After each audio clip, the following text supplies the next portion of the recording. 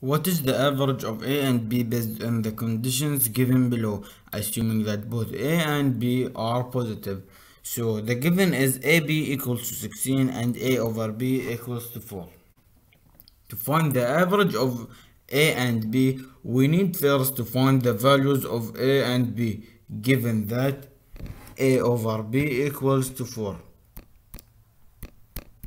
So we will convert 4 as a fraction. So it will be equals 4 over 1 after that we will do a cross multiplication. So 8 multiplies 1 and b multiplies with 4 a equals to 4b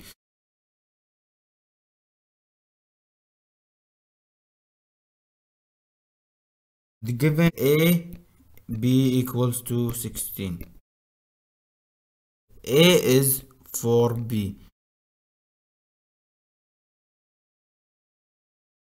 4b squared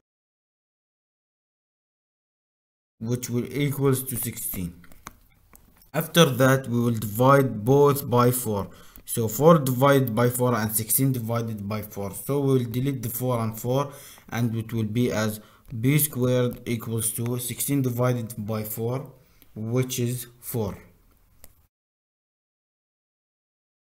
The square root of 4 equals to 2.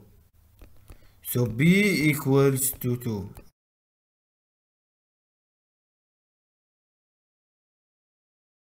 If a equals to 4b, a will be equals to 4 times 2. So a equals to 8.